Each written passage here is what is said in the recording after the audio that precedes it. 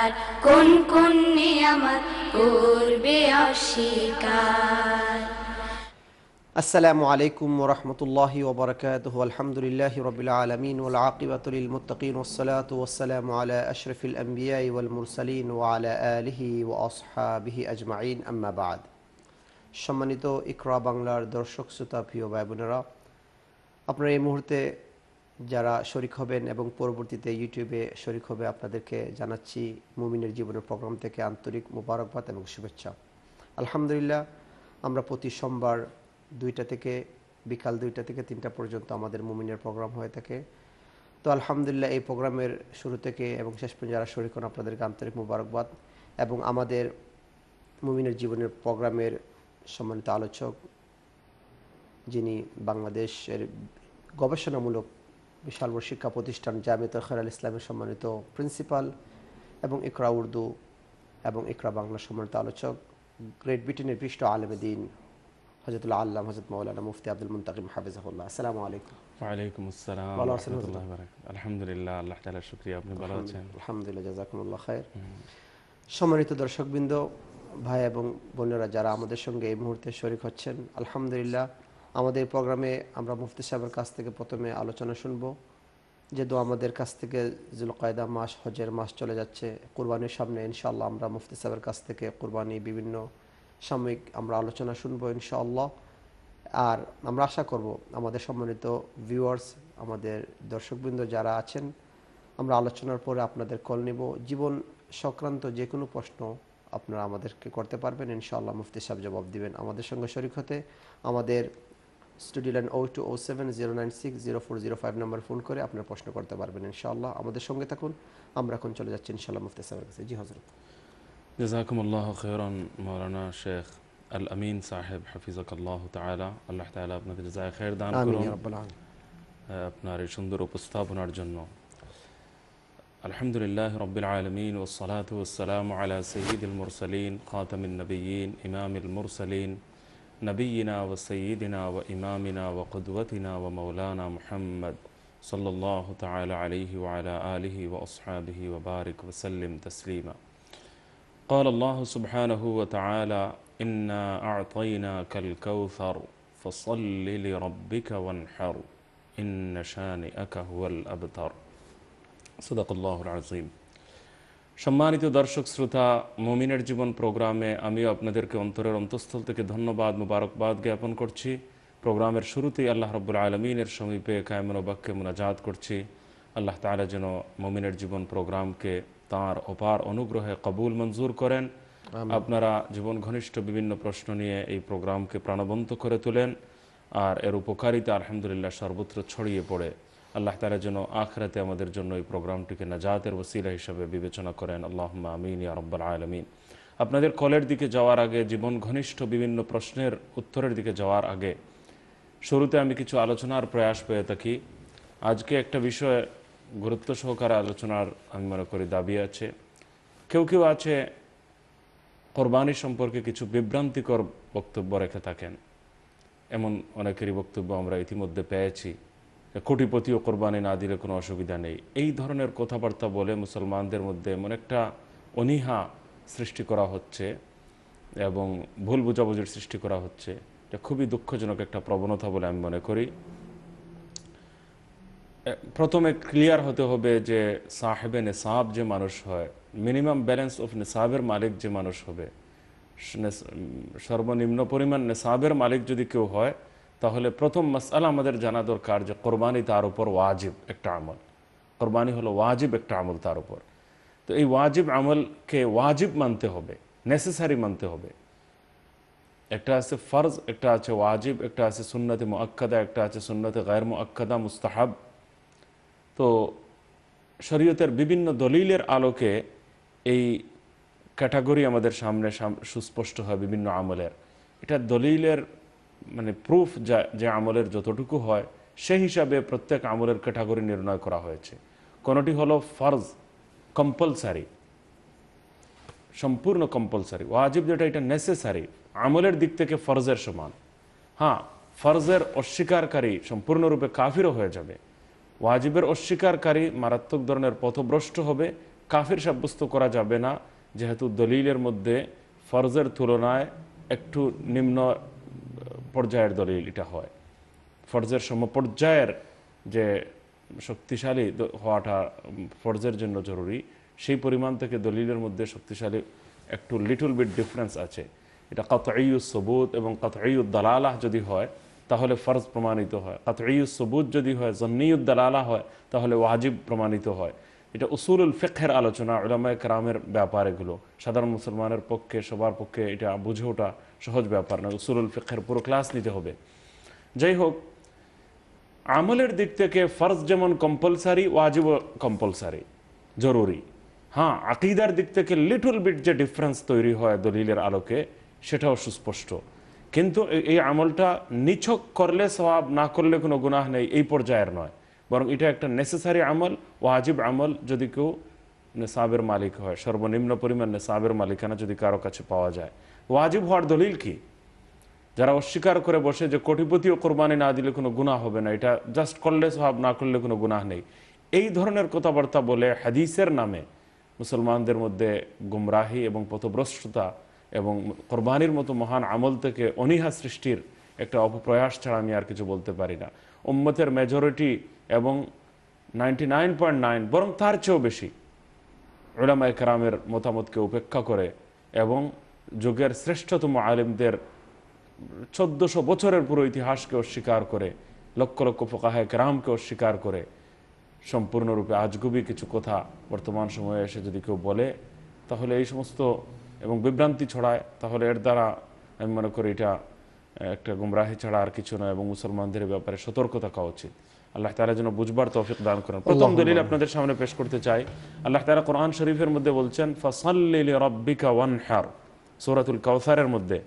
হে নবী মোহাম্মদ সাল্লাহ আলহিহাস্লাম আপনি আল্লাহর সন্তুষ্টি অর্জনের জন্য নামাজ পড়ুন এবং কোরবানি দিন। কোরবানি করুন, এটা আদেশ সূচক বাক্য দ্বারা এসেছে, সৈগাতুল আমর। তো সৈগাতুল আমর মুতলাকান যখন আসে, তখন এটা আম, আল আমরুল ওজুব সবাই জানে এটা। আমর ওয়াজিব সাব্যস্ত করার জন্যই এসে থাকে। এটা শুধু আমার কথা না। ওকাল ইক্রমা ও আতা ও কাতাদা, বড় বড় মুফসিরির ইমাম যারা আছেন, তারা বলছেন فصل لربك صلاة العيد يوم النحر ونحر نسكك فعلى هذا يثبت به وجوب صلاة العيد والأضحية. تفسير مذهبير مدي حضرت عكرمة حضرت عطاء حضرت قتادة رحمهم الله. ونادر أكتي نقل كراهو يچه مفسر جرا قرآن الكريم تفسير کرو تارا بولچن جي آيات دارا ايتا پرماني تو نماز عيد واجب هوا پرماني تو هوا قرباني واجب هوا إي آيات دارا پرماني تو هوا তো এই আল আমরুল ওজুব কেবল মানে জোর জবরদস্তি করে এই মূলনীতিটা এখানে ফিট করা হচ্ছে না। মুফসিরিন কারাম এটাকে এই অর্থে নিচ্ছেন। হজরতে ইকরমা হজরতে আতা হজরতে কাতাদা রাহিমাহমুল্লাহ, ওনারা বলছেন যে ফসাল্লি দ্বারা উদ্দেশ্য হলো ঈদের নামাজ এবং ওয়ান হাট দ্বারা উদ্দেশ্য হলো কোরবানি। আর এর দ্বারা প্রমাণিত হয় যে ঈদের নামাজ এবং কোরবানি উভয়টি ওয়াজিব। হজরত আবু বকর ইমাম আবু বকর আল জাসাস রহমতুল্লাহ আলাইহি উনি ওনার তফসিরের কিতাব লিখেছেন আহকামুল কোরআন লিল জাসাস আপনারা জানেন সবাই। তো কোরআনে করিম থেকে যেসব বিধান নির্গত হয়, কোন আয়াত দ্বারা কোন বিধান প্রমাণিত হয়, এই সংক্রান্ত অনেক কিতাবাদি আহকামুল কোরআন নামে রয়েছে। আহকামুল আলিত কান ফি আলুমিল কোরআন এই সমস্ত কিতাব আহকামুল কোরআন রয়েছে অনেকেই আহকামুল কোরআন নামে লিখেছেন ইবনে ইমাম ইবনে আরবি রহমতুল্লাহ আলী লিখেছেন ইমাম আবু বকর আল জসাস রহমতুল্লাহ আলী লিখেছেন হজরত আল্লামা শফর থানবী রহমতুল্লাহ আলী ওনার শাগিরদের দ্বারা লিখিয়েছেন আহকামুল কোরআন তো সেখানে আহকামুল কোরআন লিল ইমাম আল জসাস রাহিমাহুল্লাহ এর মধ্যে রয়েছে কাল আল হাসান সালাত ইয়ৌমিন নাহরি ওয়া নাহরুল بدن قال أبو بكر هذا التأويل يتضمن معنيين أحدهما إيجاب صلاة الأضحى ওয়া ওয়াসানি উজুবুল উদহিয়া। হজরত ইমাম হাসান বসরুল রহমতুল্লা আলহি বলেন যে আয়াতের মধ্যে ফসল্লিলি রব্বিকা এর মধ্যে নামাজের আলোচনা রয়েছে। এর দ্বারা ঈদের নামাজ বোঝানো উদ্দেশ্য এবং ওয়ানহার দ্বারা কোরবানির বোঝানো উদ্দেশ্য। ইমাম আবুকর রহমতুল্লা আলী ইমাম আবুকর আল জসাস রহমতুল্লা আলহি বলেন যে এর দ্বারা দুটো জিনিস প্রমাণিত হয়। একটা হলো ঈদের নামাজ ওয়াজিব, কোরবানি ওয়াজিব। হজরত আবু হুরার তালা আনহু থেকে বর্ণনা আল্লাহ নবী সাল্লাহ আলি সাল্লাম বলছেন, আন্না রসুল্লাহ সাল্লাহ আলী ওসাল্লাম মান কান লাহু সা ওয়ালাম ইউদাহি ফালা ইয়াকরিবান্না মুসাল্লানা। যে আল্লাহ নবী সাল্লাহ আলি ইসলাম কি ইরশাদ করছেন, সোনানে ইবনে মাজা মুসনাদে আহমদ, সোনানে কুবরা, লিল ইমাম আল বাইহাকি কনজুর উম্মাল এইসব কিতাবের মধ্যে হাদিসখানা বর্ণিত রয়েছে। আল্লাহ নবী সাল্লাহ আলী হুসাল্লাম ইরশাদ করেন, যে মানুষের সামর্থ্য রয়েছে আর সামর্থ্য থাকা সত্ত্বেও যদি সে কোরবানি করে না, তাহলে সে যেন মুসলমানদের ঈদগায় না আসে। ফালা ইয়করিবান্না মুসাল্লানা, সে ঈদগার পাশ দিয়েও যেন না আসে। ঈদগায় আসে, না আসে এটা বলে না। ঈদ- ঈদগার পাশ দিয়েও যেন না যায়। মানে তার ঈদগাহে আসার অনুমতি নেই। তো সামর্থ্য থাকা সত্ত্বেও কোরবানি না করলে এই যে শক্ত ধমক দেয়া হয়েছে, এই যে সতর্কবাণী উচ্চারণ হয়েছে, ওয়াঈদ বর্ণনা করা হয়েছে, এই সতর্কবাণী, এই ধমক, এটা কখনো সুন্নত আর মুস্তাহাব ছেড়ে দেওয়ার উপর আসে না। বরং ওয়াজিব ছেড়ে দেওয়ার উপরই ওয়াঈদ আসে, সতর্কবাণী আসে, ধমক আসে। তো এর দ্বারাও বোঝা গেল যে কোরবানি ওয়াজিব, হাদিস দ্বারাও বোঝা গেল। এরপরে আল্লাহ নবী সাল্লাহ আলী ইসলাম সুনান ইবনে মাজার মধ্যে, সুনানে নসাইর শরীফের মধ্যে রওয়ায়ত রয়েছে কন্যা ওকুফান আইন্দা নবী সাল্লাহ আলী ওসাল্লাম বিআরফতা ফকাল, ইয়া আইহান্নাস ইন্না আলা কুল্লি আহলে বাইতিন ফি কুল্লি আম উদহিয়া ও আথিরা তো এই প্রত্যেক ফ্যামিলির জন্য কোরবানি ওয়াজিব এবং আতিরা ওয়াজিব। তো আতিরা এটা কোরবানির সাথে সাথে উল্লেখ করা হয়েছে। এটা জাহিলিয়তের যুগে রজব মাসে বুথের নামে, মূর্তির নামে একটা কোরবানি করা হতো। তো ইসলাম আসার পর এটা আল্লাহর নামে এটাকে মানে সাব্যস্ত করা হলো যে এই মূর্তির নামে যেটা তোমরা করে আসছো, এটা আল্লাহর নামে করো। কিন্তু এরপরে এই বিধানটা, আতিরার বিধানটা রহিত হয়ে গেছে। এরপর আল্লাহ নবী অন্য হাদিস দ্বারা এটা এই বিধানটা রহিত হয়েছে, নাহা রসুল্লাহ সাল্লাহ আলী ইসলাম আনিল ফারা ইবাল আথিরা। আল্লাহ নবী সাল্লাহ আলি ইসলাম ফারা থেকে নিষেধ করেছেন এবং আতিরা থেকে নিষেধ করেছেন। ফারা মানে উঁটনির একটা ছোট বাচ্চাকে বলা হয় যে, উটনি প্রথম যে বাচ্চা দেয় এটাকে ফারা বলা হয়। তো এটা মূর্তির নামে কোরবান করা হতো, যারা কোরবান করতো। এটা এটা ইসলামের শুরুতে এটা আল্লাহর নামে কোরবান করা হতো, জবাই করা হতো, কিন্তু এরপর এই বিধানও রহিত হয়েছে। তো আতিরা এবং ফরায়ের বিধান শেষ, কিন্তু কোরবানের বিধান বলবৎ রয়েছে। হজরত জন্দুব বিন সুফিয়ান আল বিজলি রবিআল্লাহ তালা আনহু, উনি বলেন যে শাহিদুল নবী সাল্লাহ আলী সাল্লাম ইয়ৌমান নাহরি ফকাল মান দবাহ ফাল ইউঈদ মকানাহা উখরা ওমান লম ইয়াজবাহ ফাল আল্লাহর নবী সাল্লাহ আলী সাল্লাম কথা হজরতে জন্দুব রদিউল্লাহ আনহু বলছেন যে আমি নবী করিম সাল্লাহ আলী সাল্লামের খেদমতে ঈদুল আজহার দিন আমি উপস্থিত হলাম শাহিদুল নবী সাল্লাহ আলী সাল্লাম ইয়ৌমান নাহর। ফকালা, তো আল্লাহর নবী সাল্লাহ আলী হুসাল্লাম বললেন যে মনজাবা হাকাবর সরাতি যে ঈদের নামাজের আগে কোরবানের জন্তু যারা জবাই করে নিয়েছে, ফল ইউঈদ মাকানহা ওখরা তাদের জন্য উচিত হলো, তাদের জন্য জরুরি হলো তারা ঈদের পরে আরেকটা যেন জবাই করে। তো এই এখানের মধ্যে এটা বলা হচ্ছে যে কোরবানির আগে মানে ঈদের নামাজের আগে যদি কেউ জবাই করে ফেলে, তাহলে এটাকে আবার পরবর্তীতে জরুরি ভিত্তিতে করতে হবে, পরে আরেকটা করতে হবে। তো ওয়াজিব ছেড়ে দেওয়ার উপরই সেটা রিপিট করা জরুরি হয়। ওয়াজিব না ছাড়লে আবার রিপিট করার নির্দেশ আসে না। এটা যদি কেবল একটা মুস্তাহাব আমল হতো, তখন রিপিট করার নির্দেশনা আসতো না। এখানে আদা করার রিপিট করার যে নির্দেশনা এই হাদিসের মধ্যে দেওয়া হয়েছে সহি বুখারি শরীফের বর্ণনা, যে যারা আগে করে নিয়েছো, এটা কোরবানি হয়নি তোমাদের, আবার তোমাদের করতে হবে এটা জরুরি ভিত্তিতে। তাদের উচিত তারা যেন আবার পরবর্তীতে ভিন্ন জন্তু দিয়ে কোরবানি তারা আদায় করে। তো যারা সুন্নত বলেন, বলে ফেলেন, তারা কোনো কোনো সময় একটা হাদিস দ্বারা সাহেব বুখারি শরীফের একটা হাদিস দ্বারা একটু ভুল বুঝাবুঝির সম্মুখীন হয়ে পড়েন। إن أول ما نبدأ به يو- في يومنا هذا أن نصلي ثم نرجع فننحر من فعله فقد أصاب سنتنا ومن ذبح قبل آه، فإنما هو لحم قدمه لأهله ليس من النسك في شيء من ذبح بعد الصلاة ثم آه، تم نسكه وأصاب سنة المسلمين সাহেব বুখারি শরীফের মধ্যে এক হাদিস যে আল্লাহর নবী সাল্লাহ ইসলামের ঈদের দিনের আমলের আলোচনা করছেন সাহাবি যে এই দিন আমরা যে প্রথম কাজ করতাম সেটা হলো আমরা করে থাকি সেটা ঈদের নামাজ। এরপরে ঈদের নামাজ থেকে ফেরত আসার পর আমরা কোরবানি করি। আর যে মানুষ এমন এই এই এই এই সুন্নতের উপর আমল করল, এই তরিকার উপর যে আমল করল, তো সে মানে এই তরিকার উল্টো যে করে ফেলল, আর সে নামাজের আগেই কোরবানি করে ফেলল, তো এটা তার জন্য কেবল এটা একটা গোস্ত ওইটা কোরবানি হয় না। তো এই আয়াতের মধ্যে আসাব সুন্নতানা, এই যে শব্দ এসেছে। তো আর হজরত ইবনে উমর রদুল্লাহ তালান হুইয়া সুন্নাতুন মারুফুন, সুন্নাতুন ওয়া মারুফুন বলেছেন এই কোরবানির আমলকে। তো কোরবানি একটা সুন্নত এবং মারুফ জিনিস। তো এখানে আসাবা সুন্নাতানা এবং হজরত আবদুল্লাহ বিন উমর রদুল্লাহ আনহুর শব্দ সুন্নাতুন ওয়া মারুফুন, এই শব্দ দুটো দ্বারা এখানে যে সুন্নত হাদিসের মধ্যে কোরবানিকে বলা হচ্ছে, এটা দ্বারা ভুল বুঝাবুঝির সম্মুখীন হচ্ছেন ওনারা। কিন্তু মূল কথা হলো যে এই জায়গাতে সুন্নত, এটা পারিভাষিক অর্থে সুন্নত নয়। এখানে তরিকা অর্থে কালচার অর্থে, পদ্ধতি অর্থে পন্থা, জীবন পদ্ধতি এবং জীবন পন্থা অর্থে এখানে সুন্নত শব্দ ব্যবহৃত হয়েছে। এটা আমি বলছি না। হাদিসের ইমাম আল্লামা হাফিজ হাজার আসকালানি রহমতুল্লাহ আলহি ফতহুল বারি, দশ নম্বর খণ্ড, তৃতীয় পৃষ্ঠার মধ্যে তিনি উল্লেখ করছেন, ওয়াল মুরাদু বিসুন্নতি হুনা ফিল হাদিসাইন মান আত-তরিকা। লা সুন্না বিল ইসতিলাহ।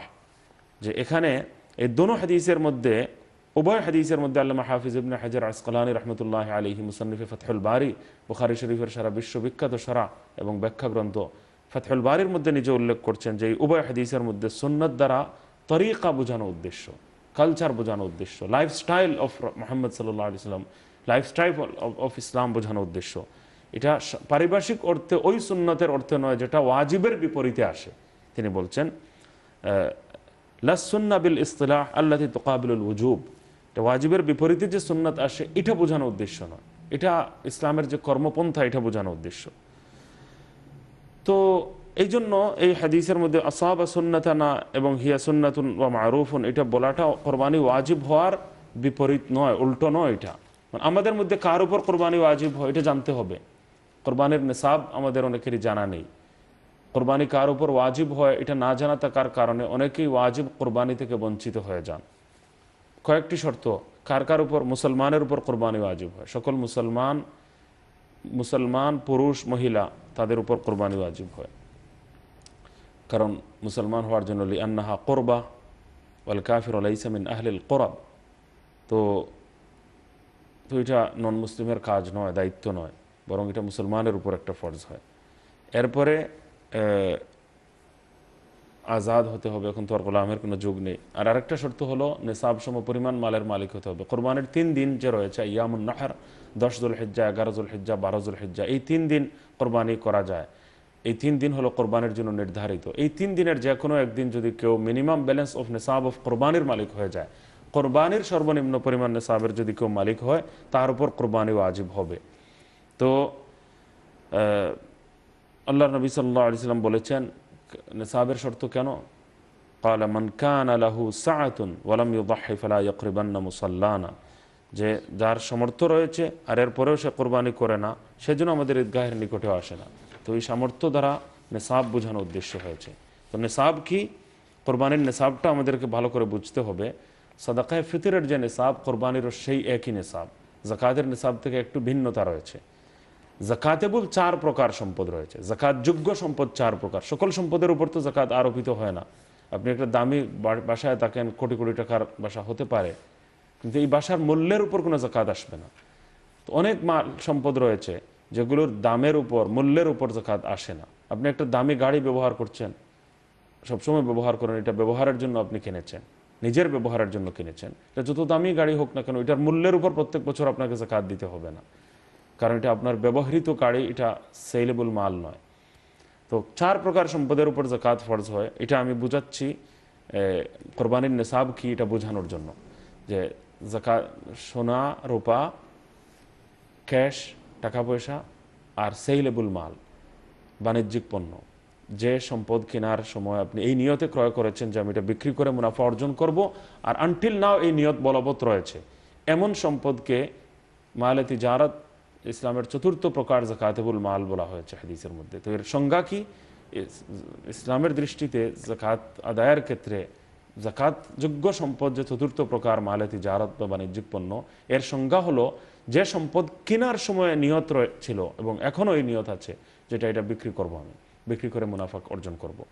তো বিক্রয়ের নিয়তে যদি কেউ ক্রয় করে, ক্রয়ের সময় বিক্রি করার নিয়ত থাকতে হবে, এটা হলো জরুরি। মঈদান লিত্তিজারা তো এই ধরনের চার প্রকার সম্পদ, এটা এই- চার প্রকার সম্পদের কোনো এক প্রকার, কয়েক প্রকার একত্রিত করে যদি সাড়ে বায়ান্ন রূপার দাম হয়ে যায়, সাড়ে বায়ান্ন রূপার দাম হয়ে যায় six hundred and twelve point thirty six gram সিলভারের দাম হয়ে যায়, তাহলে জাকাতের নিসাব হয়ে যায়। তো জাকাতের নিসাব যার উপর জাকাত ফরজ, তার উপর কোরবানিও আজিব একই সাথে প্রয়োজন থেকে বেশি সম্পদ যেটা আছে জাকাতেবুল না হলেও যেগুলো প্রয়োজন থেকে অতিরিক্ত দরকারের চেয়ে বেশি, প্রয়োজনের চেয়েও বেশি। অর্থাৎ, বছরে দুই দিনের চেয়েও বেশি যে জিনিস ব্যবহারে আমার লাগে, এটা আমার প্রয়োজন। আর বছরে একদিন বা দুই দিন লাগে, এটা প্রয়োজনের ঊর্ধ্বে ফোকাহেকরাম উল্লেখ করেছেন। তো আপনার কিছু অতিরিক্ত, আপনি ধরেন বাসন কুসন কিনে রেখেছেন, অনেক দামি। সারা বছরে কেউ দাওয়াত দেয় না, হয়তো কোনো বখিল মানুষ কিনে ফেলেছে। তো কৃপণ মানুষ জীবনে দাওয়াত দেয় না কাউকে। তো যোগ করে বললাম এটা। তো জীবনেই কাউকে দাওয়াত দেয় না, এগুলো এমনি শহর করে দেখানোর জন্য শোকেসের মধ্যে মানুষ রাখে। তো এই ধরনের সারা বছরেও যদি অ্যাটলিস্ট তিনবার যদি এটা ব্যবহার না হয়, তাহলে এটা তার প্রয়োজন থেকে বেশি ধরে নেওয়া হবে এটা। এটা ভ্যালুয়েবল সম্পদ যদি হয়। মহিলাদের ক্ষেত্রে পুরাতন যে কাপড়টা ভ্যালুয়েবল নয়, এটার তো কোনো দর্তব্য হবে না। কিন্তু ভ্যালুয়েবল যে সমস্ত কাপড় এখনও প্রায় নতুন রয়ে গেছে এগুলো ধরেন ওলামায়ক রাম তো উল্লেখ করেছেন যে তিন সেট কাপড় হলো নিজের প্রয়োজন। আর তিন সেটের ঊর্ধ্বে যেগুলো হবে, তিন জোড়া, তিন সেট, এটার প্রয়োজন থেকে বেশি। তো আপনাদের মাসাল্লাহ ওয়ার্ড্রোপে হাজার হাজার, শত শত কাপড়। তো এটা আমি আমি বলি যে এই দেশে দুই ধরনের মৌসুম আছে। তো দুই মৌসুমে ছয় সেট কাপড় হয়তো প্রয়োজনের অন্তর্ভুক্ত হবে দুই বেদারের জন্য। আমরা কলটা নিয়ে ইনশাআল্লাহ হজরত তারপরে ইনশাআল্লাহ ইনশাআল্লাহ। তো এই মাল থেকে যদি অতিরিক্ত সম্পদ হয় এটাও কাউন্টেবল হবে। এটা মিলিয়েও যদি কোরবানির তিন দিনের মধ্যে কারও কাছে মিনিমাম ব্যালেন্স অফ নেশাব হয়ে যায় তাহলে তার উপর কোরবানি ওয়াজিব হবে এবং এই নেশাবের উপর বছর অতিক্রান্ত হওয়ার শর্ত কোরবানির ওয়াজিব হওয়ার ক্ষেত্রে নেই। তো আশা করি ক্লিয়ার হয়েছে কার উপর কোরবানি ওয়াজিব। কলটা ড্রপ হয়ে গেছে ইনশাআল্লাহ আমরা আচ্ছা, আবার আমরা কন্টিনিউ সরি আপনি আবারও কল করতে পারবেন আমরা কলের দিকে যাও আমি চাচ্ছিলাম এক শব্দে আমার এই কোরবানি কার উপর ওয়াজিব হয় কথাটা যেন অসম্পূর্ণ না থেকে যায়। তো কোরবানি কার উপর ওয়াজিব হয়? যারা বালেক হয়ে গেছে সাবালক হয়ে গেছে। এখন ঘরের মধ্যে এবং ফোকাহায় গ্রাম উল্লেখ করেছেন যারা কলিবুল বালেক হওয়ার নিকটবর্তী তাদের উপরও। ইনশাআল্লাহ আমরা শুনব ইনশাআল্লাহ কুরবানি ফরজ হওয়ার শর্তগুলো এবং কাদের উপর মুফতি কাছ থেকে। আমরা চলে যাই সম্মানিত দর্শকের কাছে। সম্মানিত দর্শক আসসালামু আলাইকুম রহমতুল্লাহ বারাকাতুহু। ওয়ালাইকুম আসসালামু রহমতুল্লাহ। জীবন আপনি ভালো আছেন? প্লিজ দয়া করে আপনার প্রশ্নটি করুন প্লিজ হ্যাঁ, ভালো আছেন? আমি আপনাদের ফলো করি সব সময় ভালো আছেন আপনারা? আলহামদুলিল্লাহ আমরা ভালো আছি বোন প্লিজ আপনার প্রশ্নটি করুন। আমি কয়টা প্রশ্ন হ্যাঁ আমি প্রশ্ন কয়টা করতে পারব ভাইয়া? আমি তো তিনটা প্রশ্ন রাখতাম। আচ্ছা করেন ইনশাআল্লাহ। জি বলো আপনি শর্ট করে প্রশ্নগুলো বলে ফেলেন বোন। আচ্ছা হ্যালো হ্যাঁ হুজুর আমার একটা প্রশ্ন হলো প্রথম আমি ওই যে শাওয়ালের যে রোজা আছে না ছয়টা ওইটার আমি মনে করেন দুইটা চারটে রোজা করছিলাম এরপর আমার করোনা হয়েছে।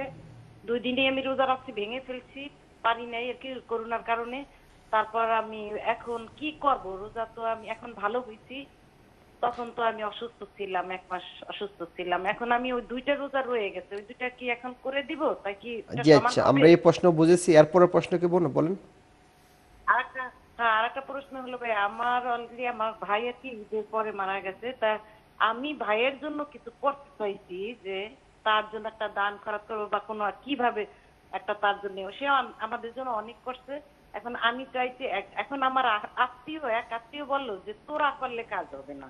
তার ছেলে মেয়ে তার স্ত্রী। তারা করলে কাজ হবে। ইনশাআল্লাহ আমি আমরা চাইছি আমরা আমার- আমরা কিন্তু মুফতি সাহেবের কাছে বলে দেব কি কাজ করলে না পাবেন ইনশাআল্লাহ আমরা বলে দেব মুফতি সাহেব বলে দেবেন। এরপরে কি ইনশাআল্লাহ? আমি চাইতেছি কি ভাই আমি চাইতেছি কি যে হুজুর যে আমি আমার একটা মসজিদ দিছি আমি।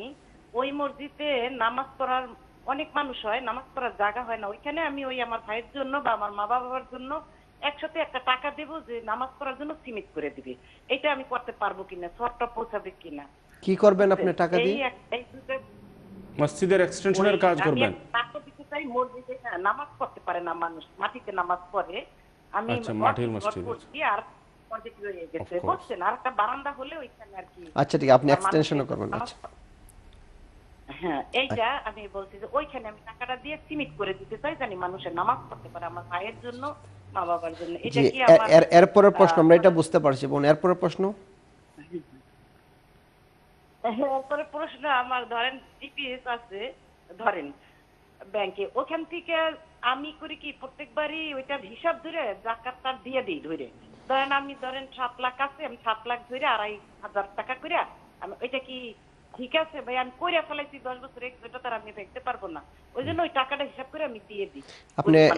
এটা কি ব্যাংকে আপনার সেভিং হিসাবে আছে নাকি বলছেন? এটা হ্যাঁ হ্যাঁ আমার জিপিএস হিসাবে আছে। আমি ওই জিপিএস ধরেন ব্যাংকালারা বলে যে আপনি সাত লাখ জমা হয়েছে ওইটার হিসাবে আমি টাকা ধরে দিয়ে দিই। সাত লাখে আড়াই হাজার করে কত আসে? এখন এটা কি ঠিক আছে নাকি? আমি এটা এখন ভেঙে যাবে আর কি ওটা শেষ। এখন এই তো সামনে শেষ হয়ে যাবে। কিছুদিন আছে অল্প কিছুদিন। আচ্ছা ইনশাআল্লাহ আমি ওই হিসাবে প্রত্যেক বছর টাকা দিয়ে দিই বুঝছেন? ওকে জাজাকাল্লাহ আপনি প্রোগ্রাম দেখতে থাকুন পরে ইনশাল্লাহ। আমরা ব্রেকে যেতে হবে ব্রেকের পরে আয়সা ইনশাল্লাহ মুফতি সাহেব আপনার প্রশ্নের জবাব দিবেন।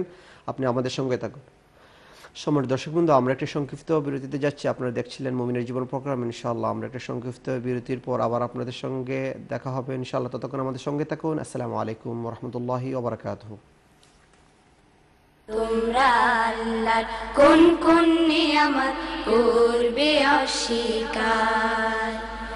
আসসালামু আলাইকুম রহমতুল্লাহি ওবরাকাতুহু সম্মানিত ইকরা বাংলার দর্শক, শ্রোতা, প্রিয় বোনেরা আমরা একটি সংক্ষিপ্ত বিরতির পর আবার আপনাদের সামনে আপনাদের জনপ্রিয় অনুষ্ঠান মমিনের জীবন প্রোগ্রামে আপনাদেরকে জানাচ্ছি আন্তরিক মুবারকবাদ এবং শুভেচ্ছা। এই মুহূর্তে যা আমরা যারা আমাদের সঙ্গে শরিক হয়েছেন অথবা পরবর্তীতে অনলাইনে ফেসবুকে শরিক হবেন। আপনাদেরকে আন্তরিক মুবারকবাদ এবং সালাম জানাচ্ছি আমাদের মুমিনের প্রোগ্রাম প্রোগ্রাম থেকে।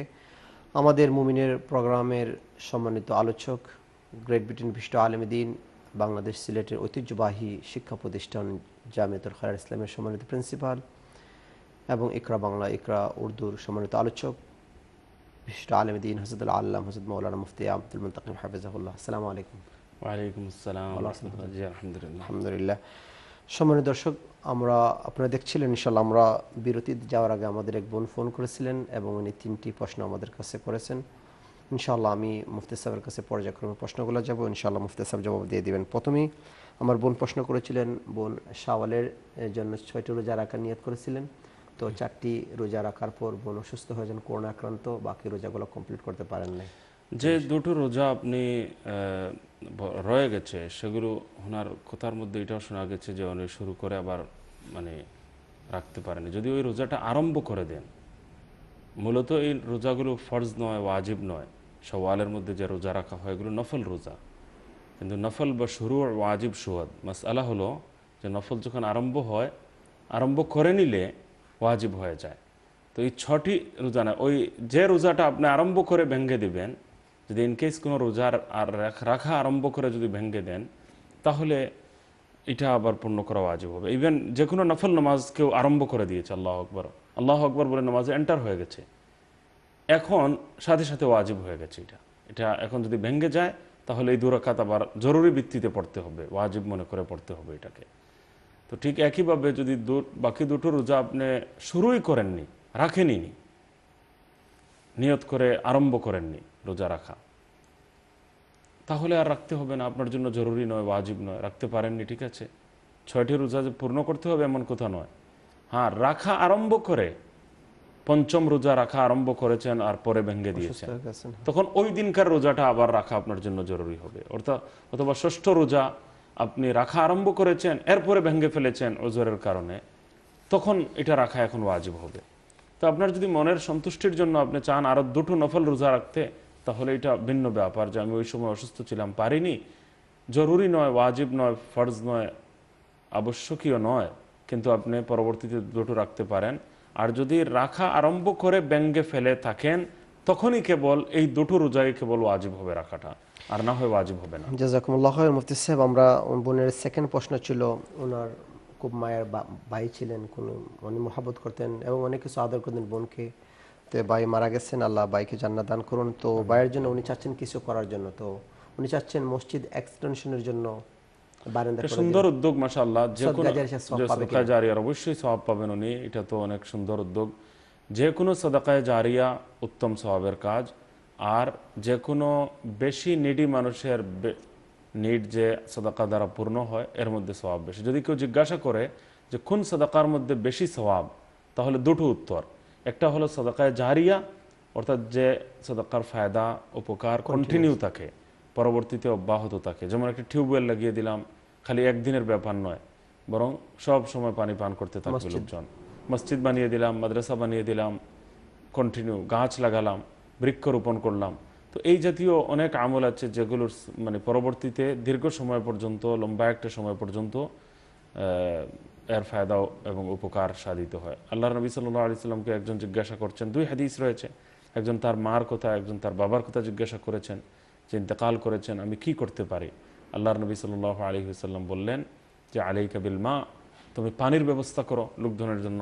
তো মানে পানি সবাই পান করবে। অন্য হাদিসের মধ্যে এসেছে, যদি কেউ পানির ব্যবস্থা করে, তাহলে যত, মানুষ যতদিন পানি পান করতে থাকবে, পিপিলিকা পান করতে থাকবে পাখি পান করতে থাকবে, জিন্নাত ইনসান পান করতে থাকবে এই পানি থেকে।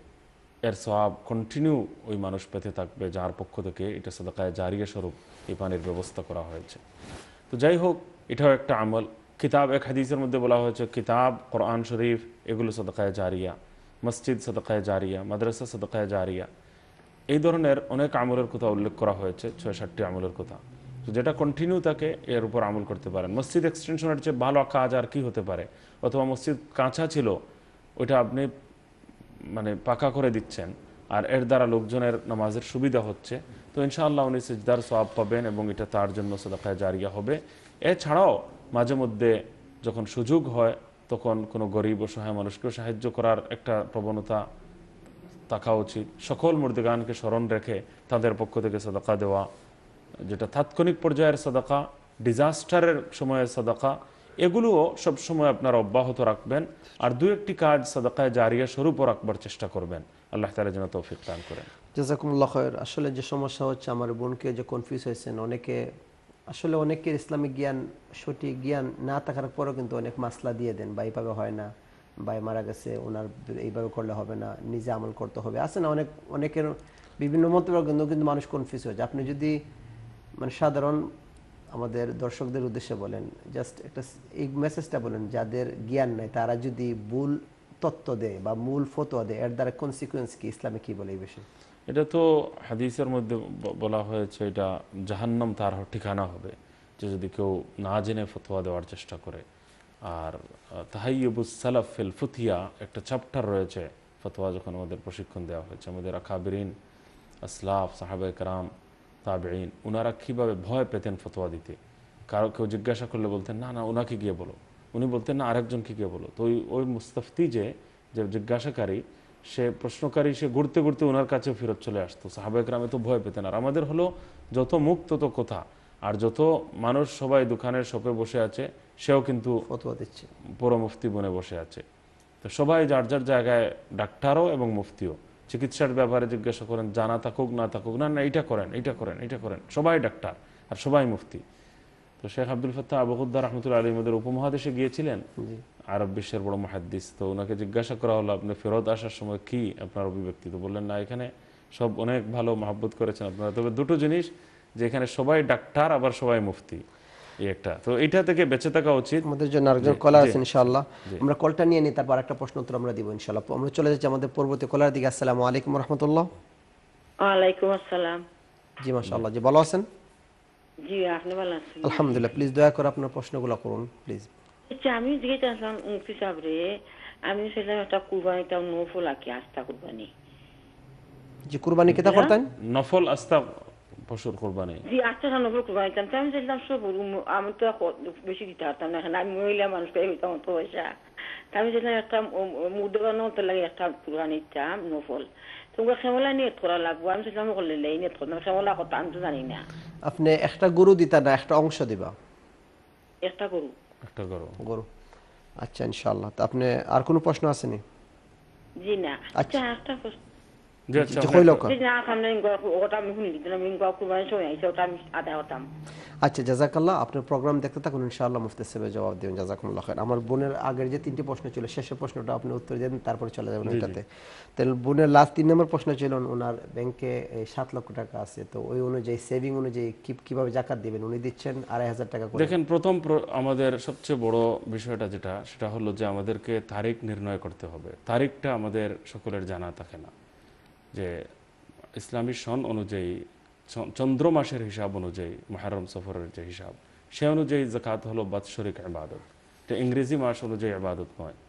তো আসল মশালা হলো জীবনে আমি প্রথমবার যে তারিখে মিনি, জীবনে ফার্স্ট টাইম যে তারিখে আমি মিনিমাম ব্যালেন্স অফ নেসাবের মালিক হয়েছি মানে সর্বনিম্ন পরিমাণ নেসাবের আমি যেদিন প্রথমবার মালিক হয়েছি, যে পরিমাণ সম্পদের মালিক হলে পরে একজনের উপর জাকাত ওয়াজিব জাকাত ফর্জ হয়ে যায় এই পরিমাণ সম্পদের মালিক জীবনে যে তারিখে আমি প্রথমবার হয়েছি, সেই তারিখটা মনে রাখা জরুরি। ফর এক্সাম্পল আমার জীবনে আমি প্রথমবার মিনিমাম ব্যালেন্স অফ নিসাবের মালিক হয়েছি পনেরোই মহরম তো আমার আগামী বছর পনেরো মহরম তারিখে আমার জাকাতের বৎসর পূর্ণ হবে। দেখতে হবে আগামী বছর পনেরো মহরমের তারিখে আমার ব্যালেন্স অফ নিসাব কত। মানে একদিন আগেও যে টাকা এসেছে, এটাও কাউন্টেবল তো এটা নয় যে সারা বছর প্রত্যেকটা টাকা আমার কাছে থাকতে হবে, এরকম কথা নয়। যেদিন জাকাতের বৎসর পূর্ণ হচ্ছে, ওই দিন ব্যালেন্স অফ নিসাব কত? এবং তা থেকে টু পয়েন্ট ফাইভ পার্সেন্ট দিয়ে দিতে হবে। এই হলো জাকাতের মশালা এখন যদি আমি জিজ্ঞাসা করি, ভর্তি মসজিদেও আমি অনেক জায়গায় বলেছি যে আপনারা বলুন তো, কে কোন তারিখে জীবনে প্রথমবার ব্যালেন্স মিনিমাম ব্যালেন্স অফ নিসাবের মালিক হয়েছেন? আপনার জন্য তো আপনার জাকাত, আপনার, আমি হয়তো পনেরো মহারম জীবনে প্রথমবার মিনিমাম ব্যালেন্স অফ নিসাবের মালিক হয়েছি, তো আমার প্রতি বছর পনেরোই মহারম আমার জাকাতের বৎসর পূর্ণ হবে। সে অনুযায়ী আমাকে জাকাত দিতে হবে। আপনি হয়তো দশ রজব রজব মাসের তো দশ তারিখ প্রত্যেকের হয়েছে। ওই ডেটটা লেখা রাখা যেদিকে এটা প্রথমে জরুরি। এখন সবাই এই প্রশ্নের উত্তরে ফেল কারও মনে নেই। ওলামায় কেরাম এটারও সমাধান দিয়েছেন। সেটা হলো যে অতীতের জাকাত একটু এহতিয়াতান সতর্কতামূলক বেশি পরিমাণে আদায় করে ডাউট ফ্রি হয়ে যাওয়া জরুরি। সন্দেহ মুক্ত হয়ে যাওয়া জরুরি যে না যতই হোক যে কোনো তারিখেই হোক এর উপর চেয়ে বেশি জাকাত হবে না আমার উপর। সেই পরিমাণ জাকাত দিয়ে এখন থেকে একটা ডেট ফিক্স করা এটা জাকাত রমাদানেরও ডেট ফিক্স করা যেতে পারে জায়েজ আছে। এখন থেকে একটা ডেট ফিক্স করবেন আর প্রতি বছর ওই ডেটটাকে ফলো করতে থাকবেন নিয়মিত জীবনের শেষ মুহূর্ত পর্যন্ত। তারিখের মতো জি, বার্থডের মতো হ্যাঁ এটা মনে রাখবেন যে আমি দশ যার যেটা সুবিধা কেউ রমাদানের প্রথম তারিখের দিনটা হিসাবে রাখবেন কেউ পা- পাঁচই ম- রমাদান কেউ দশ রমাদান যার যেটা সুবিধাজনক তারিখ। এই তারিখ অনুযায়ী জাকাতের হিসাব কষবেন হিসাব করবেন।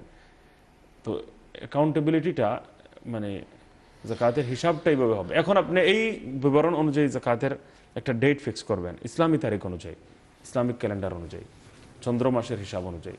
আর এই তারিখে দেখবেন যে আজকে আমি কত টাকার মালিক আছি, সোনা থাকলে এটার মার্কেট ভ্যালু কত, রূপা থাকলে এটার মার্কেট ভ্যালু কত, পাওনার রেঞ্জ যেটা এখনও পাওয়ার ব্যাপারে সম্পূর্ণ নিরাশ হইনি দেরিতে হয়তো পেতে পারে, কিন্তু সম্পূর্ণ নিরাশ হয়নি। এমন পাওনা টাকা কত? এই সব মিলিয়ে প্রাপ্য ঋণ যেটা পরিশোধযোগ্য ঋণের কথা বলছি না, সব মিলিয়ে দেখবেন যে তাৎক্ষণিক আদায় যোগ্য ঋণ কি পরিমাণ রয়েছে, সেগুলো মাইনাস করার পর যে টু থাকবে যে অ্যামাউন্ট সেটা টু পয়েন্ট ফাইভ পার্সেন্ট তা থেকে দিয়ে দেবেন। এখন যেদিন যে জাকাতের বছর পূর্ণ হবে ওই দিন দেখবেন হাতে কত টাকা ব্যাংকে কত টাকা। তো ব্যাংকে যত হবে, এটা কাউন্ট করবেন। আর এরপর টু পয়েন্ট ফাইভ পার্সেন্ট অর্থাৎ শতকরা আড়াই পার্সেন্ট আপনি দিয়ে দেবেন। আশা করি ক্লিয়ার হয়েছে প্রশ্নের উত্তর জাজাকুমুল্লাহ খায়ের আমাদের সঙ্গে আরেকজন সম্মানিত কলার যোগদান করেছেন। আমরা চলে যাচ্ছি আমাদের পরবর্তী কলার দিকে। আসসালামু আলাইকুম সম্মানিত দর্শক। ওয়ালাইকুম আসসালাম রহমতুল্লাহ। জি ভালো আছেন? জি ভালো। আপনারা ভালো আছেন আলহামদুলিল্লাহ। জি দয়া করে আপনার প্রশ্নগুলো করুন প্লিজ আমি রোজ একটা জিনিস আমি জানতাম পারাম যেমন আমার নাকি তার বয়স হয়ে গেছে রাখছিটা জি? জি কথা বুঝে আব- আবার বুঝছি না আবার হোকেছেন প্লিজ আমার হাজবেন্ড নাকি তার বয়স গেছে যেমন রাখছিটা কি নব্বই টাকা নব্বই ডুফরে গেছে আচ্ছা। তার মাথায় কাম করে কম তখন আমি টান তো আমার কোনো রুজি রোজগার না টান পেনশন পয়সা থাকে আমি আল্লাহর বাস্তে মাদ্রাসা দেই মসজিদও দেই কিংবা আমার দেশও গরিব গুড়ারে দেই। ওখন আমি পেয়েছিলাম কি নফল একটা কুরফানি দিতাম। ওখন আমি তা না জানতা দিচ্ছি আর কোন তো ওখান আমি ডরাগান ফিরি আপনি হুজুর কাঁটে কষ্ট কাঁটা দোলাই হোক আমি ডরাগান কেউ তো তার মাথায় কাম করেন না। আর তার বুঝরাও না বলতা ওর সময় বুঝই না ওর সময় বুঝই না। কোন আমি দৌড়াবো আমাকে আমি সকালে কিতাব টাম দিতাম যে তা না জানতে কিন্তু আমার কোনো পয়সা নেই, কিন্তু তার রুজির পয়সা তার পেনশনের পয়সা ওকে জাজাকাল্লাহ আপনার প্রোগ্রাম দেখতে থাকুন ইনশাআল্লাহ, মুফতি সাহেব জবাব দিবেন জাজাকুমুল্লাহ খায়ের বোন। আমাদের আগের বোনের প্রশ্নটা জবাবটা দিন ইনশাআল্লাহ আপনি যদি মুফতি দিয়ে দেন উনি চাইছিলেন উনি নফল কুরবানি দিতে কিলার নিয়ত করতা কিলার আচ্ছা দেখেন আমরা ওয়াজিব কোরবানের আলোচনা আজকে প্রোগ্রামের শুরুতে করেছি কিন্তু আলোচনা একটু অসম্পূর্ণ আমি মনে করি যে আমাদেরকে বেশি বেশি নফল কোরবানিও দেওয়া উচিত। ছোট বাচ্চা যাদের উপর কোরবানি ওয়াজিব নয় তাদের পক্ষ থেকে আমরা কোরবানি দিতে পারি। মুর্দেগান যারা আছেন যারা দুনিয়া থেকে ইন্তেকাল করেছেন আত্মীয় স্বজন আপনজন তাদের পক্ষ থেকেও আমরা কোরবানি করতে পারি। তো এই কোরবানির দুই পদ্ধতি রয়েছে। এক পদ্ধতি হলো যে একজনের পক্ষ থেকে এক নাম অথবা এক পশু এটাও পারেন। অথবা সবার পক্ষ থেকে এক নাম অথবা এক পশু আপনি দিয়ে দিতে পারেন কোনো আপত্তি নেই। দুইভাবে করা যায়। যেমন আমার আব্বার পক্ষ থেকে এক নাম মার পক্ষ থেকে এক নাম বা এক অংশ এক পর্ষণ সাত ভাগের এক ভাগ। এক শরিক। যেটা আমরা বলি এক শরিক বলেন এক পর্ষণ বলেন এক নাম কেউ বলে কোনো এলাকায় বিভিন্ন এলাকায় ওয়ান শেয়ার তো এটা specific one share from my father specific one share from my mother আমার মার পক্ষ থেকে, আমার বাবার পক্ষ থেকে, এইটাও এই পদ্ধতিও জায়জ। আর যদি আপনি আরেকটা পন্থা অবলম্বন করেন যে পুরো একটা পশু আমি সকল মুর্দেগানের পক্ষ থেকে দিয়ে দিলাম, যেটা আপনি বলেছেন, এটাও জায়েজ আছে। আল্লাহ নবী সাল্লাহ আলী সাল্লাম এক নাম কোরবানি, এক অংশ কোরবানি দিয়েছেন পুরো উম্মতের পক্ষ থেকে। তো এটাও এটাও ঠিক আছে। তো দোনো পদ্ধতি ঠিক আছে। কেউ আছেন স্পেসিফিক দাদার পক্ষ থেকে এক নাম দাদার পক্ষ থেকে এক অংশ দাদার আর যদি আপনারা মনে করেন কেউ যদি বলেন তখন এটা সাদাকায় সাদাকা হয়ে যাবে ওনাদের। সবার জন্য এই সালে সব হয়ে যাবে। এই কোরবানির সব সবাই সবাই পেয়ে যাবেন। এক অংশ বা একটা পশু যদি দেন সবার পক্ষ থেকে আহ, ইজমালিভাবে সংক্ষিপ্তভাবে মানে কোনো একজন স্পেসিফিক একজনের পক্ষ থেকে নয়। তখন গণ্য হবে কোরবানি আপনার পক্ষ থেকে গণ্য হবে, আর এর সব ওনারা পেয়ে যাবেন। আর যদি ওনাদের নাম সহ ওনাদের জন্য অংশ নির্ধারণ করেন বা পুরো একটা পশু কারও ব্যক্তি বিশেষের জন্য নির্ধারণ করেন, তখন কেবল স্পেসিফিক ওই কোরবানি ওনাদের পক্ষ থেকে হবে।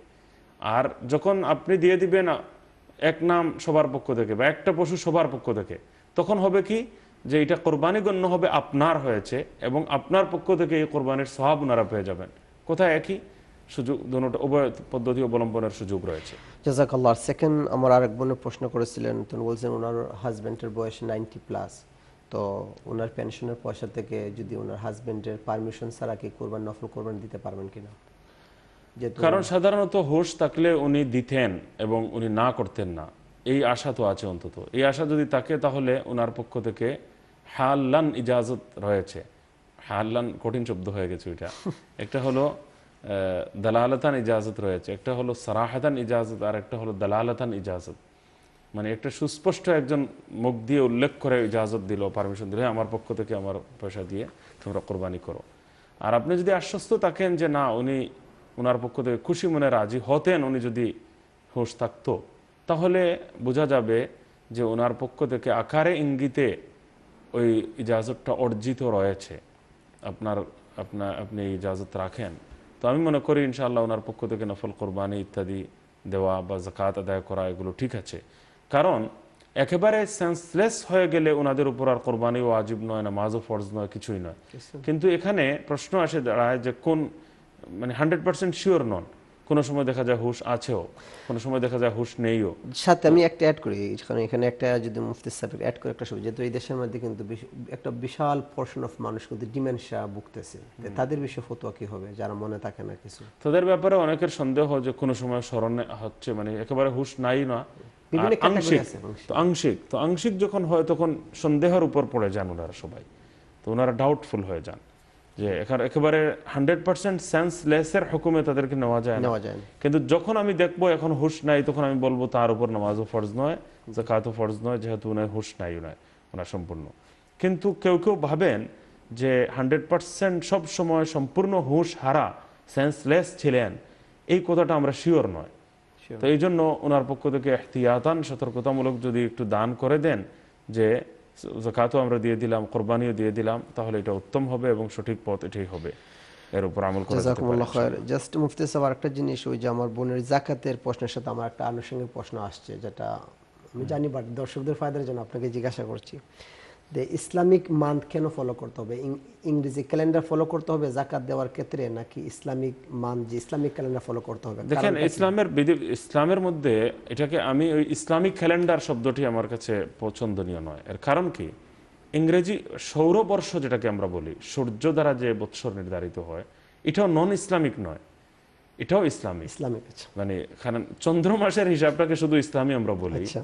তো চাঁদের সাথে ইসলামের সম্পর্ক নয় ইনশাআল্লাহ সূর্যের এটা সূর্যের সাথে ইসলামের সম্পর্ক। আমরা কলটা নিয়ে ইনশাআল্লাহ। তারপরে এই জবাব দেবো ইনশাআল্লাহ। জাজাকুমুল্লাহ খায় আমরা চলে যাচ্ছি আমাদের পরবর্তী দর্শকের দিকে আসসালামু আলাইকুম সম্মানিত কলার ওয়ালাইকুম আসসালাম রহমতুল্লাহি বারাকাতু হুজুর আপনারা ভালো আছেন? আলহামদুলিল্লাহ আপনি ভালো আছেন আলহামদুলিল্লাহ। জি ইনশাআল্লাহ। আমি একটা কুরবানির আহ, জানতাম চাইলাম। আমি একজন গরিব একবারে গরিব মানুষ। তান্দে এক নাম আমরা নাম তান্দে দেই কুরবানি। তে ই কুরবানির যেন তিন ফসম তিন ভাগর এক ভাগ যেন দেওয়া লাগে মিসকিন অখলরে ইকটা দেও- দেওয়া লাগবো নি না না দিলে ওইব ওটা আমি জানতাম চাইলাম আপনি কি তা আস্তা গরু দিছেন নাকি তা এক শরিক দিরা কিলান জি না জি না একটা ফসম দিছি আর। একটা জি, জি। ফসম, Fully তাই দিলাইছেন জি জি গরিব মানুষ দিলাইছি আমি টান টান দে এক- আমরা নাম আর কি টান দে দিলাইছি যে ই নাম ঠাইন নিতা গিয়া জিও করিয়া কুরবানি দিয়া।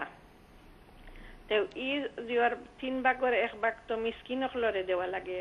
তে ওগুলা মিসকিনক লরে দেওয়া লাগবো নি না তো একবারে নিয়ে জি। জাজাকাল্লাহ বোন আমরা প্রশ্ন বুঝতে পারছি ইনশাআল্লাহ আমরা জবাব দিচ্ছি মুফতি সাহেব জবাব দিচ্ছি। জাজাকুমুল্লাহ খায়ের মুফতি সাহেব আমাদের কাছে তিন চার মিনিট সময় আছে আচ্ছা আপনি প্রশ্নের আচ্ছা জবাব এই প্রশ্নটা খুবই গুরুত্বপূর্ণ খুবই গুরুত্বপূর্ণ। যে আহ, কোরবানির ব্যাপারে আমরা যে ভাগ বন্টন করি তো অনেকে আল খায়ের ফাউন্ডেশনের কোরবানি প্রজেক্টে ইতস্ততা বোধ করেন যে আমাদেরকে আত্মীয় স্বজনকে দিতে হয় একটা অংশ এটা কীভাবে যাবে? তো আসল কথা হলো যে কোরবানির পুরো গোষ্ঠ নিজে খেয়ে নেওয়া জায়েজ আছে। পুরো গোষ্ঠ দান করাও জায়েজ আছে। সম্পূর্ণ গোষ্ঠ কোরবানির নিজে খাওয়াও জায়েজ সম্পূর্ণ অন্যকে দান করাও জায়েজ আর ধনী কাউকে দেওয়া জায়েজ গরিব কাউকেও দেওয়া জায়েজ। ইয়েস কিন্তু একটা মুস্তাহাব আমল বা একটা মানে ভালো, উত্তম পন্থা হাদিসের মধ্যে বলা হয়েছে যে সব তুমি খাইও না বা সব তুমি দিয়েও দিও না। তোমার ভালো হবে যে এক বেশি উত্তম পন্থা হলো যে তিন ভাগ করে নাও। এক ভাগ নিজেদের ফ্যামিলির জন্য রাখো, এক ভাগ আত্মীয় স্বজনের মধ্যে যারা রয়েছেন তাদেরকে দান করো, আত্মীয় স্বজন প্রতিবেশী যারা তাদেরকে দান করো। আর সাধারণ গরিব যারা যারা আত্মীয় স্বজনও না সাধারণ গরিব মিসকিন যারা খালি মিসকিন হতে হবে তাও না। সাধারণ গরিব মানুষ যারা, তাদেরকে দিয়ে দাও এক ভাগ। তো এখন আমরা এই দেশে সাধারণত কোরবানির এইরকম গরিব মিসকিনদেরকে দিতে পারি না। তো আমি বলি যে আমরা তো খাচ্ছি গুস্ত পুরোটাও আমরা দিয়ে দিতে পারি। আর কিছু গরিবদের জন্য আমরা এই আল খায়ের ফাউন্ডেশনের কোরবানি প্রজেক্টে বা বিভিন্ন কোরবানি প্রজেক্টে আমরা দান করতে পারি বা বাড়িতে, দেশে, গ্রামে আমরা কিছু দিতে পারি। সব জায়েজ আছে আপনার জন্য। এটা কোনো কম্পালসারি কিছু নয়। আপনি পুরো কোরবানি যাকে দিচ্ছেন, তাকে একজনকেও দিয়ে দিতে পারেন।